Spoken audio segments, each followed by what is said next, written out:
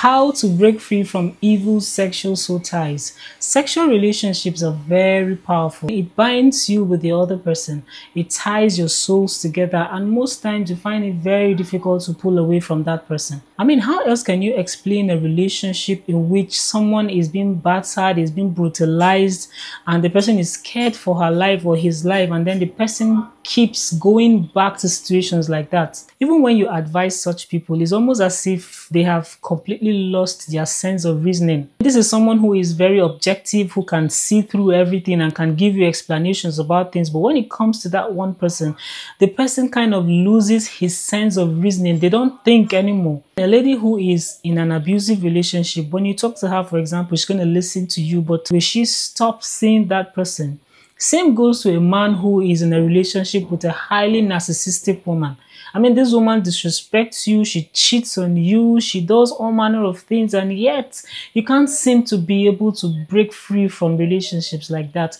This is because it has gone beyond the physical. It is now a spiritual thing, and you don't actually have control over it. Take Samson in the Bible, for example, all of the signs were there. I mean, she was even telling him at one point that the Philistines are coming, they're coming to kill you, and he was still there. She would ask him, What is the source of your strength and your power and all of that? He was busy telling her until eventually what happened? She killed him. For the purpose of those who are seeing my face for the very first time, you're highly welcome to this channel. My name is Wendy Zeal.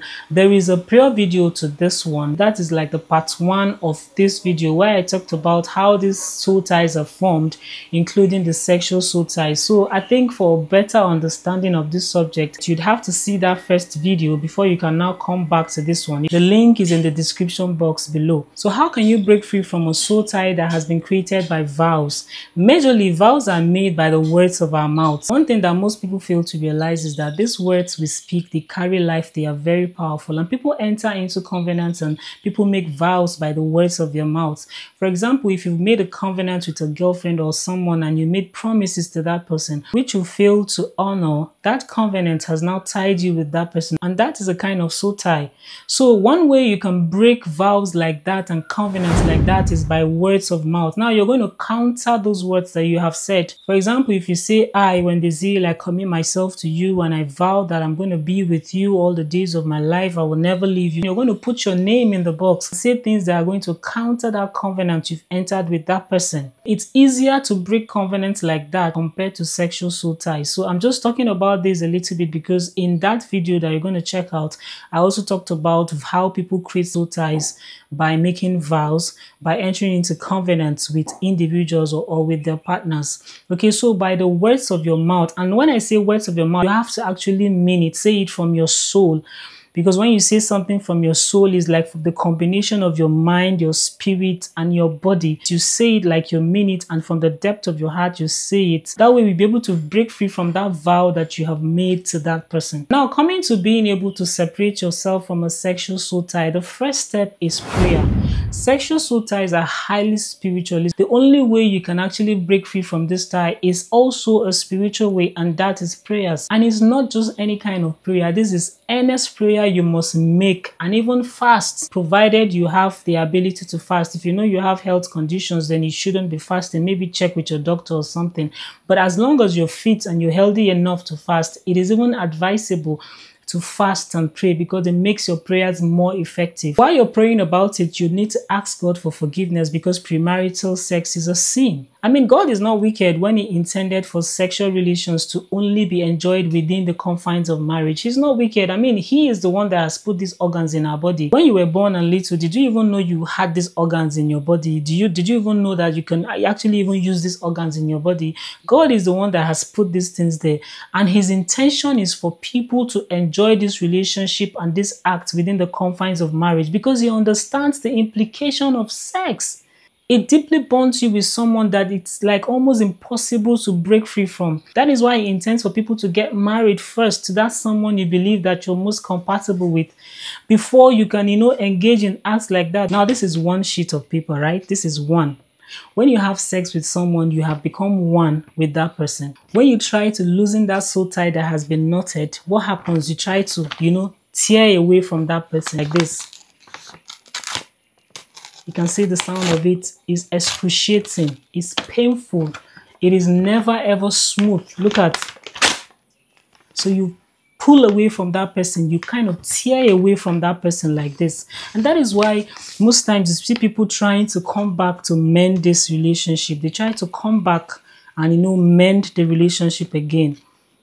When they mend it again, somehow you realize that, wait, we're going too fast. I don't think this is what I want. Just let's separate and then you try to, you know, you do this again.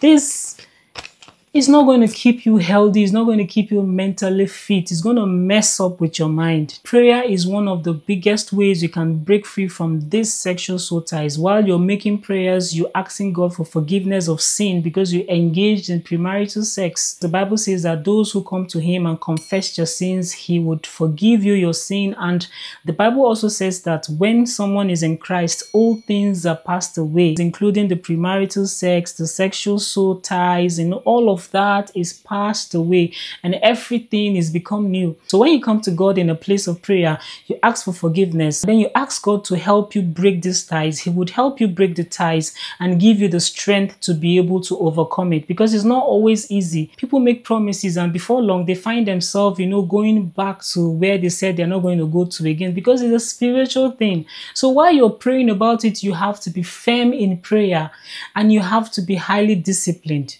And it's only God that can help you, you know, stay focused on your new path and just, you know, face your spirituality seriously. Now, in the same vein, while you're asking God for forgiveness and praying about it, you also need to forgive yourself because when you do not forgive yourself, somehow it has a way of, you know, impacting your life and impacting how you perceive things. You know, when you present yourself as I'm not worthy, can God even forgive me? I mean, I've done this, I've done that. Yes, God has actually forgiven you when you come to Him with a remorseful heart in a place of prayer, but you also need to forgive yourself. When you forgive yourself, that is when you can receive forgiveness from God. So you forgive yourself and also forgive your partner because sometimes relationships like that don't always end well. I mean, if you're a lady, for example, and you've been with a man for maybe 10 years and you find it difficult to pull away from that man, maybe he's even narcissistic, probably cheating and everything. And eventually, when you see the light and you're able to pull away from that relationship, you pull away, but you still have grudges. Okay, so in that case, you need to also forgive your partner, forgive him for whatever he has done, forgive her for whatever she has done. All right, so that you'll be able to move on. Okay, so forgiveness is both ways. God is forgiving you, you're also forgiving yourself. Now, after that is done, the next and the final step for you to be able to be free from sexual soul tie is total separation. You have to like totally separate yourself from this person, from whatever is going to remind you of that person, whatever is going to bring that person into the picture. You can't like keep everything that is reminding you of this person and expect that you're going to be separated from that person. Maybe you have movies you've done together, you have pictures, or you you've been so bonded so well that you're a pair. Like they can't see one person and don't see the other person in a particular place. So you have to like intentionally separate yourself from that person, separate yourself from associations that is going to bring you close to that person. If it means losing their number, total disconnect from that person. This is very important because if you do not do this, you would also still find yourself going back to that relationship and it's going to make it very, very difficult. So when you totally, totally separate yourself from this person, that's when you'll be able to now receive the total freedom that God is giving you. When you follow this process from the beginning, from the point of prayer to forgiving yourself, to asking God for forgiveness, to forgiving that person that has hurt you, and to, you know, separating yourself completely from that person, you'll be able to break free from this sexual soul tie. Now, at this point, I'd like to say that once you're able to break free from this person, you need some time to heal because it's not a small thing it's not be small something o person wey you don deal with like 15 years some people say you don't know somebody from secondary school. You don't know this person for a very long time. You just yanked up from somebody. So you need your heart to heal. You need like your emotions to heal. You need to be whole again. So it's not the best time to go into another kind of relationship because you're still carrying your baggage. You need to totally heal, totally heal from that energy, totally, you know, expel all of that energy from your body and be whole again. Before you can now go another relationship.